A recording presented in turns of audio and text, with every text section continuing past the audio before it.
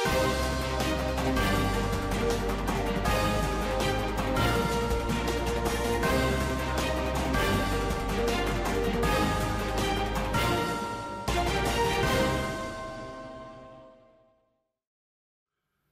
ومرحبا بكم أعزائي المشاهدين وأنا ألتقيكم في حلقة جديدة من برنامجكم حديث عراقي.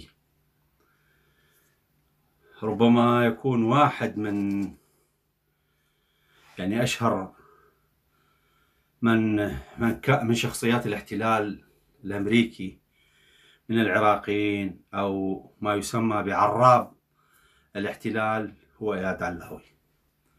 واحد من الشخصيات المهمة التي جاءت مع الاحتلال وبرزت مع بدايات الاحتلال وكان أول رئيس للوزراء بعد رحيل سيء الصيط بول بريمر عندما رحل عن العراق في شهر حزيران 2004 عينه رئيسا للوزراء وشارك في كل مؤتمرات المعارضة حتى أن لم يشارك في يعني واحد منها شخصيا لم يكن موجود في عام 2002 مؤتمر ما يسمى بالمعارضة العراقية في لندن لكن حضر عنه آه، مندوب عنه الشيخلي وكان كانت حركتهم حركة الوفاق العراقي تسمى هكذا وحضر عنه صلاح الشيخلي وتحدث في وقتها صلاح الشيخ لي بلسان اياد علاوي قال إحنا نشكر الولايات المتحدة الأمريكية والآن هيأت لنا فرصة في أن نذهب إلى العراق ونسقط النظام وهكذا. وتحدث عن يعني شكر لكبير إدارة الرئيس الأمريكي بوش الصغير في في في وقتها بقرارها آه، بوجوب تغيير النظام والشعب العراقي ينتظرنا وإحنا ذاهبين. هكذا كان. المهم اياد علاوي طوال هذه السنوات كان ينتقد العملية السياسية وهو فيها كثيرا. وشخصية لا تعرف يعني هل يتكلم جديا أم ماذا يعني يعرف أو لا يعرف يدري أو لا يدري. واشتهر بعبارة بعبارة كل أهل العراق يعرفونها إنه عندما يسأل عن شيء يقول لا أدري. لا أعرف. ومن يعرف من يدري لا أدري يعني الحقيقة. المهم قبل أيام تحدث أحد النواب السابقين فيما يسمى بالبرلمان حديث هكذا في إحدى الفضائيات وقال أنه عام 2024 سيكون هناك أسقاط لهذا النظام وسيشكل نظام أحاديث من هذه التي يحاولون أن يعني لهم غايات فيها الكثيرة. نقول هكذا. وسئل إياد علاوي في برنامج الأسبوع الماضي عن هذا عن هذا الحديث. سئل عن ما تحدث به هذا الشخص. وإذا به يتكلم كلام غريب عجيب الحقيقة. قال بالنص سأقرأ لكم. يعني نص ما قاله اياد علاوي قال يعني قالوا إنه هناك قوة يعني خارجية ستأتي وتغير النظام. فقال إذا يعني إذا جت قوة خارجية وغيرت النظام مرة أخرى فبئسا لهذه القوة الخارجية. يعني كل مرة تغير النظام هاي واحد. قال ومن هذه القوة؟ تساءل هو.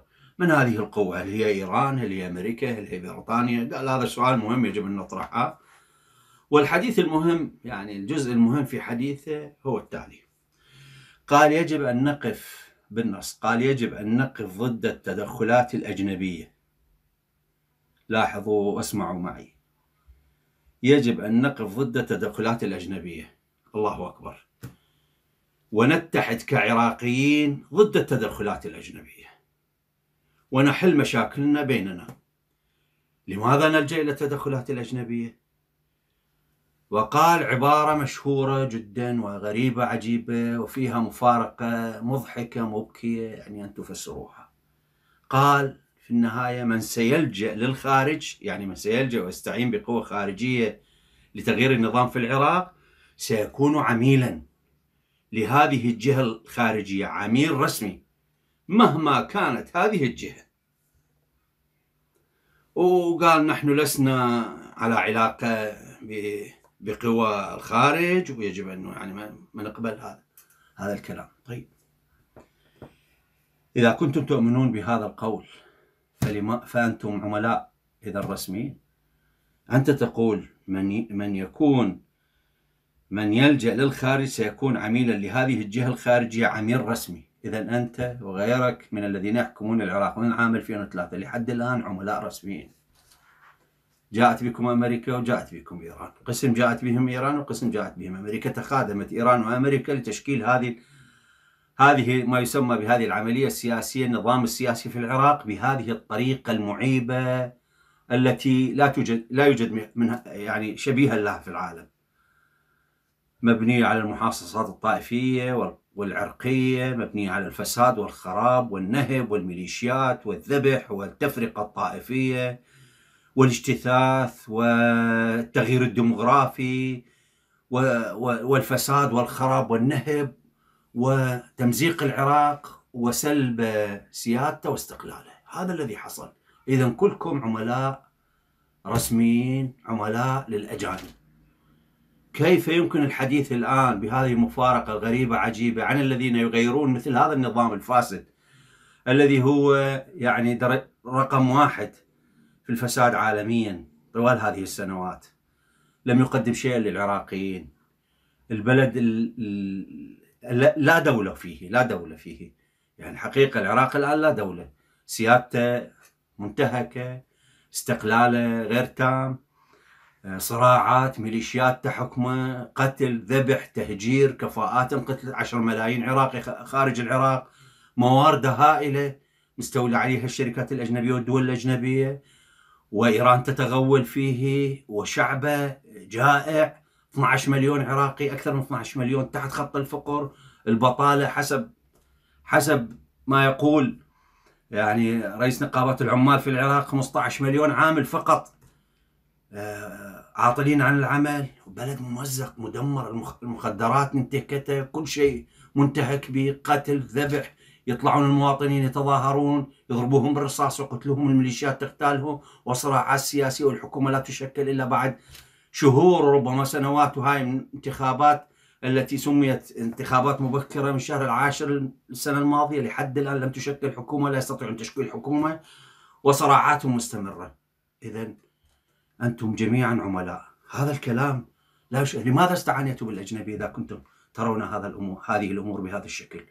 لماذا وقفتم مع الأجنبي وطبلتم له؟ وقلتم للأجنبي تعال ادخل إلى العراق وسيستقبلونك بالورود. لماذا وقفتم مع الأجنبي في حرب المقاومة في حرب المقاومة الشريفة العراقية التي قاومت الاحتلال؟ هذا كلام غير منطقي وغير طبيعي ولا يمكن قبوله.